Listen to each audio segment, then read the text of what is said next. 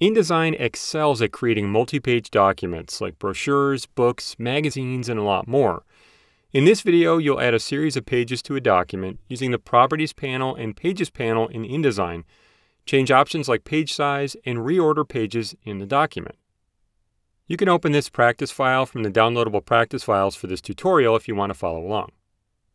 Now there are several ways to add pages to a document in InDesign. When you first set up a document, you can enter any number of pages before creating it. But you can also add or remove pages after your document has been created, and that's what you'll do. This practice file only has a single page. With nothing selected, in the Properties panel to the right, click the Pages menu.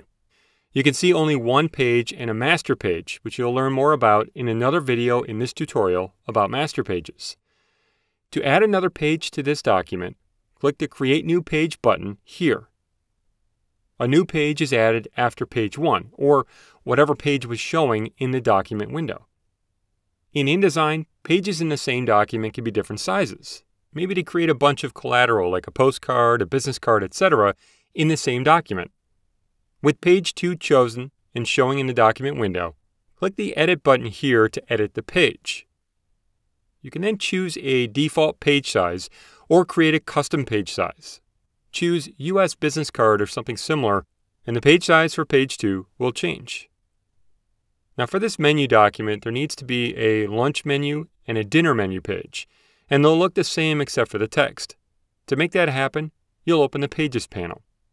First, to stop editing this page, click back at the top of the Properties panel. Then click the Pages panel tab if you see it up here to open the Pages panel, or choose Window Pages. In the Pages panel, you can create a copy of a page and make changes to the copy. Drag the Page 1 thumbnail down to the Create New Page button down here and release to copy the page and place it at the end of the document. So that you can see all the pages in the document window, press Command and minus on Mac or Control and minus on Windows a few times to zoom out. Now the thumbnails in the Pages panel will mirror what's going on in the document. You can see the actual page sizes out here.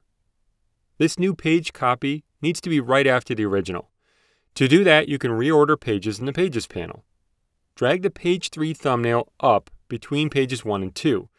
When a line appears either to the left of page 2 or to the right of page 1, release to reorder the pages. If nothing happens, you can simply try dragging again.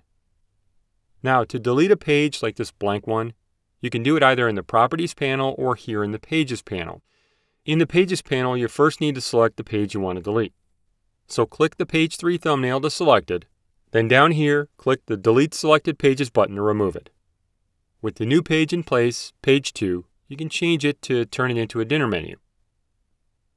To see the entire page, choose View, Fit Page and Window.